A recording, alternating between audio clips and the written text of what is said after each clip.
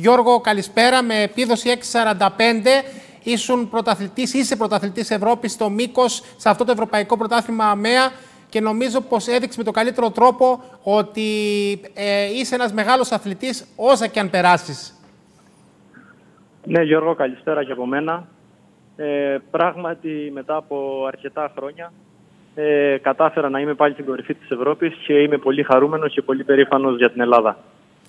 Και βέβαια για τον ομό σου, γιατί το Λασίθι σίγουρα δείχνει ότι είναι εδώ, ότι είναι δυνατό, παρόλο που ίσως σε, κάποια, σε κάποιες πόλεις να μην υπάρχουν ανάλογες υποδομές με την υπόλοιπη Κρήτη.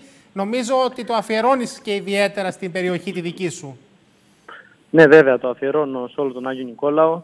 Το αφιερώνω στην οικογένειά μου και ιδιαίτερα στη γυναίκα μου, στο παιδί μου και στον προπονητή μου, τον Νίκο το Βαΐου, που πέρασα κάποια πολύ δύσκολα χρόνια και ήταν πάντα δίπλα μου και με στηρίξανε για να κάνω την προπόνησή μου και να ξαναφτάσω εδώ που έφτασα.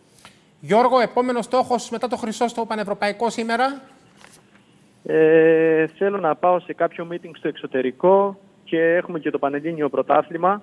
Ήμουνα σε καλή κατάσταση, ήθελα μια καλύτερη επίδοση, αλλά δεν βοήθησαν οι αρχές συνθήκες επειδή είχε κόντρα αέρα στα άλματα που είχαμε ε, και δεν έκανα την επίδοση που ήθελα. Ελπίζω να βρω κάποιο αγώνα στο εξωτερικό ή στο Πανελλήνιο Πρωτάθλημα και να κάνω την επίδοση που πρέπει για να διεκδικήσω και εγώ την πρόκρισή μου για το Τόκιο. Γιώργο Κωστάκη, να σε ευχαριστήσουμε πολύ. Πάντα τέτοια να σου ευχηθούμε. Με υγεία. Ευχαριστώ, ευχαριστώ πολύ. Να είστε καλά.